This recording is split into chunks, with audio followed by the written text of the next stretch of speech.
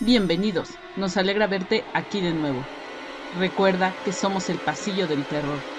Los comerciales son un elemento clave a la hora de dar a conocer un producto. Son parte fundamental también a la hora de vender. Existen comerciales muy graciosos, otros son altamente sorprendentes, aunque también existen aquellos que son aburridos y que no logran del todo convencer al espectador. Pero el día de hoy te voy a presentar tres comerciales que son raros y que además arrastran una leyenda que te dejará pensando y analizando. Prepárate, ve por una botana y disfruta conmigo de la maldición que hay detrás de cada uno de estos comerciales. Te presento a continuación el comercial de la famosa marca Doritos. En este se pretende promocionar el producto Doritos Ruleta del Diablo, en el año 2017 este se hizo viral, ya que su contenido sorprendió a más de uno. Incluso la misma marca a través de su cuenta de Twitter bromeó acerca del mismo. Se comentó que este contenía algunas tomas que no estaban contempladas. De verdad es escalofriante. Si no me crees, míralo tú mismo. ¿Te atreves? Va.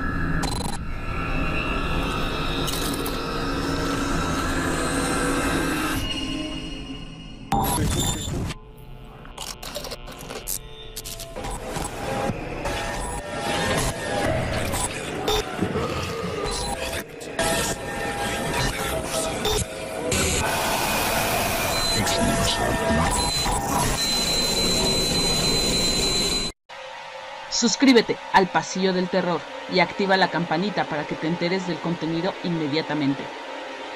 Incluso se dice que después de mirar este video empezarás a sentir presencias extrañas a tu alrededor o que alguien te persigue. Si es así, no dudes en dejar tu comentario.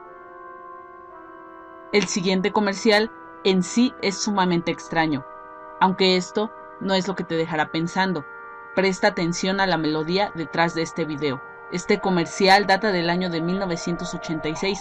Se estrenó en Japón. Detrás de este comercial existe una leyenda urbana en la que se cuenta que al ver este video después de la medianoche, se comenzará a distorsionar y presenciarás cosas aún más raras. Algunos dicen que la canción que se escucha al fondo se torna más tenebrosa.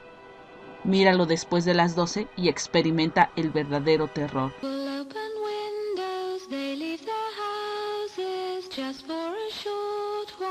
They walk by the grass and they look at the grass. They look at the sky. It's going to be a fine night tonight. It's going to be a fine day tomorrow. Kleenex. Como ves, cada uno de estos comerciales logró algo más que vender sus servicios.